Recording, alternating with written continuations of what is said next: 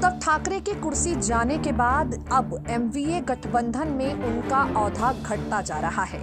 बीते एक दो दिनों में कई संकेत ऐसे मिले हैं जिससे मालूम पड़ता है कि अब एमवीए में उद्धव ठाकरे से कहीं गुना ज़्यादा ऊपर शरद पवार हो गए हैं। महाराष्ट्र में सियासी तख्ता पलट के बाद शरद पवार ही हैं जो विपक्ष की सबसे मज़बूत सरकार बने हैं और इस मज़बूत सरकार पर सोनिया गांधी ने अपना रुख साफ़ कर दिया है। आप सब जानते हैं, विधानसभा में विपक्ष के नेता एनसीपी की तरफ़ से अजीत पवार को बनाया गया है। उद्धव ठाकरे फ़िलहाल खामोश हैं। शरद पवार ने बीते दिनों पाँच छह महीने में शिंदे सरकार के गिरने का दावा किया और शरद पवार की ही आरोपों को, रिपीट, शरद पवार के ही दावों को मज़बूत करती हुई कांग्रेस नज़र आ रही है।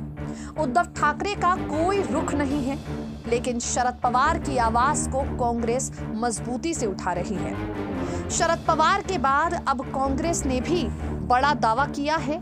और कह दिया है कि ये जो सरकार शिंदे की चल रही है, ये पाँच छह महीने में गिर जाएगी। कांग्रेस के मीडिया एवं प्रचार प्रमुख पवन खेड़ा ने कहा, महाराष्ट्र में एक नाथ शिंदे और देवेंद्र फडणवीस की सरकार, यानी ईडी की सरकार बनी है। एजेंसियों का दुरुपयोग करके, पैसों का दुरुपयोग करके विधायकों को डराया, धमकाया जा रहा है।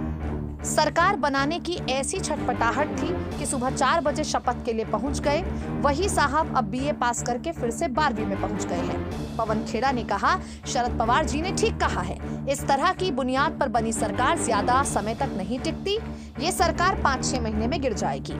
आपको बता दें एमवीए गठबंधन में अब कांग्रेस की सहमति से सबसे बड़े नेता बन चुके हैं शरद पवार। एमवीए गठबंधन में अब उद्धव ठाकरे नंबर तीन पर आ गए हैं और कांग्रेस के समर्थन से शरद पवार का प्रमोशन हो चुका है। शरद पवार एक बार फिर से किंग मेकर की भूमिका में आ चुके हैं। अब इस बार किसे किंग मेकर बनाते हैं, ये आगे आने वाले वक्त में पता चलेगा। नेक्स्ट नाइन न्यूज़ रूम की रिपोर्ट